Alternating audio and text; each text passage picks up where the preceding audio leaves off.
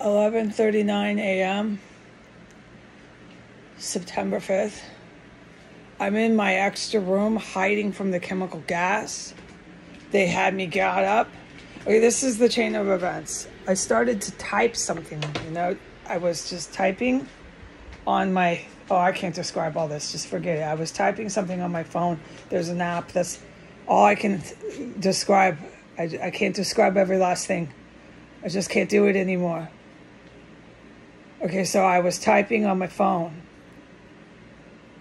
Oh my god. Within well, one minute they started to they got they got into the room. However, they're doing this. I know it's through pipes. I've heard them do stuff and things. I just can't describe it anymore. This just has to stop. Okay, so I'm laying flat on my back, bedridden, and they managed to get it into my room, my main room where I was laying flat on my back. And I was typing on my phone. Within one minute, all my intestines are swelling. It's serious lethal gas, okay? I'm, and I say out loud, they're poisoning me again. I'm in horror and I'm scared because anyone can understand why and I crawl and I try to get out of the the the, the, the chair because you can lay the chair down flat. I, it's all I can describe. Uh, I get up and I, and I go to the bathroom thinking I have to pour out more diarrhea. When I get to the bathroom, no. I just had to get away from the poison. That's all I can explain or report. I'm so grateful it wasn't so strong and so much of it. I'm so grateful that it wasn't in the bathroom and the poison, you know, making me just pour out pee poo. So I went to the bathroom. I used the restroom. I had to go pee. I hate to discuss all this on the internet, but no diarrhea. Okay, so that's great. Okay, but when I was poisoned, I was holding my gut and all this pain. When I went into my bathroom, it reeks of burning chemical stench. Okay, and I'm allowed to talk about it. I can't hardly talk about anything in this house. Okay, but that is going on in the bathroom now. I'm also to say publicly the sand dwellers, I can ID who it is, the sand dwellers are coming. They work at the Department of Mental Health. They actually have their names, they have taxable income. They work at the Department of Mental Health. They're not wearing the clothing or the tags. They have nothing to identify themselves professionally, legally as Department of Mental Health psych responders. But they're crawling through from the attic, from every freaking cubby hole they can access they're coming in, and we know they do that. Oh, they do. They stand here and go on video with chemical stenches engulfing the freaking floor, too. Okay, I've seen them do it all, dude.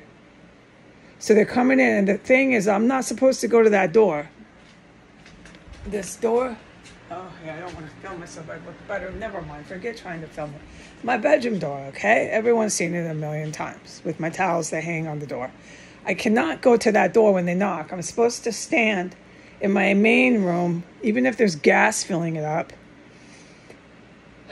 and film them. Film them saying they're here for a psych check. We must, you know, all that routine recite script that they act out. They don't have anything to back it up. If I were to open it up, it'd even be more dangerous.